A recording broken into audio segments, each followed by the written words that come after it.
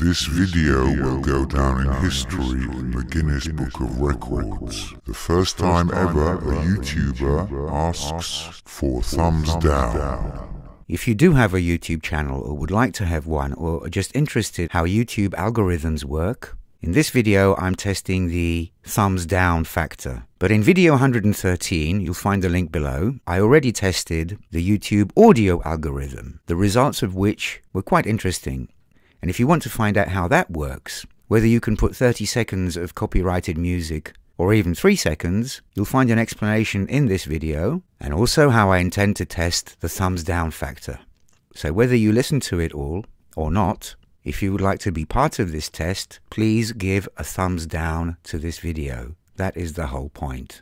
Thank you. So this channel, as you may have noticed, is aimed at the Czech population, at people who speak Czech, Slovak, Polish people follow this channel. And in this case, I'm also recording this part in English because it might be useful if you've found this video on YouTube, you might want to give me a little helping hand or a thumbs down. I'm testing the YouTube algorithm for a thumbs down situation. If you have a YouTube channel or you're just interested in how the YouTube algorithm works, let me first explain my previous previous test, which was video 113 here, where I tested the, the sound algorithm, how YouTube analyzes songs, famous songs, and how they flag it or not flag it, or it can be demonetized or not. That was an interesting experiment, and I'll explain now how, very quickly, how the YouTube audio algorithm works. So in video 113, there are more than 45 snippets of very famous songs all cut together. Now, usually the way the YouTube sound algorithm works works.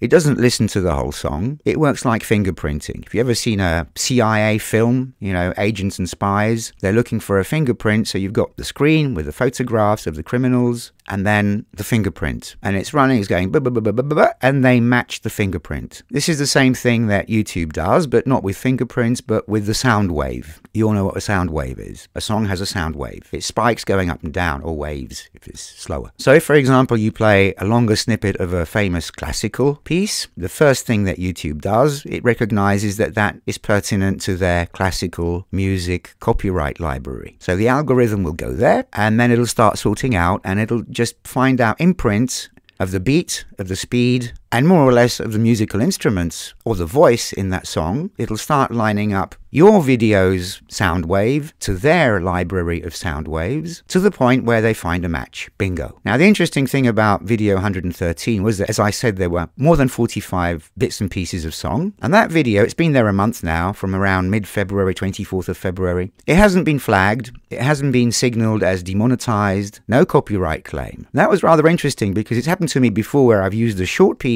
just as an intro to a spoken video, and that bang immediately got signaled for demonetization. I don't actually monetize any videos, I've got no ads at all, I don't intend to, so that can have no effect on me. But then there are copyright claims where YouTube basically states somebody has an issued a copyright claim. This has no effect on your channel. You don't have to do anything, but for example, you can't put any ads on there, right? Because if YouTube disallowed using bits and snippets of songs, then half YouTube would be empty. There are some videos which use very famous copyrighted songs. They've got 5 million views. They can't put any ads on there. But, you know, people do it for fun, or people because they're passionate about music. Let's move over to the thumbs down and the thumbs up algorithm. Thumbs down and thumbs up have no influence at all on the way your channel progresses. The only thing that's important to YouTube is the minutes or the hours of how long people listen to any of your videos. It's a bit like if you go and do a conference and 300 people turn up and you're going to be talking about, I don't know, anything, whatever. Let's say, let's just choose something silly. Let's just say you're going to, you're going to be talking about the moon landings. So you've got 300 people there. Your conference is planned to last 45 minutes. And after the first two minutes, 300 people walk out. That was a big thumbs down. That was actually 300 thumbs thumbs down. Has no influence on your conference. You can continue for the rest of the time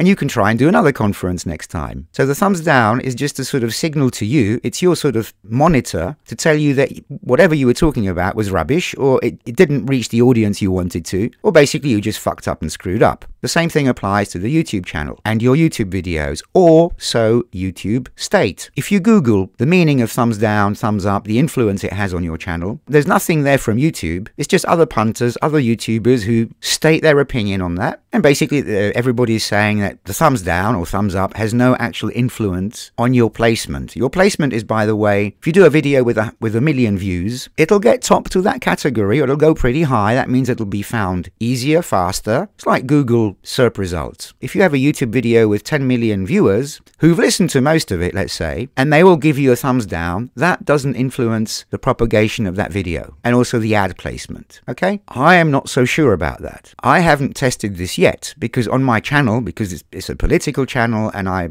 appeal to a certain audience, I usually get, I don't know, 300 thumbs up and two thumbs down. And those are the leftists and the American Democrats because I'm sort of doing center a little bit to the right politics. So in this video, I've invited my Czech audience and I'm also inviting you, anybody who understood what I've just said in English, to give me a helping hand or a helping thumb down. This is just an algorithm test. You know, it's not left, right. It's just a test, mathematics, and to see how the algorithm works. And my request here is please give this video a thumbs down. What I'm looking for is afterwards, if you have a YouTube channel, you know that you have your own internal statistics. And I'm looking for something in those internal statistics, the actual wave of the progression of the whole channel. And I want to see if something changes with the thumbs down. Generally, people say it won't. Well, this is my attempt to try and find out if it does or if it doesn't, or how, if at all. So thank you very much for your thumbs down. And there will be another video about this, depending on how long it takes, maybe two weeks, maybe 10 days, where I will also explain the results of this YouTube algorithm test. Take care.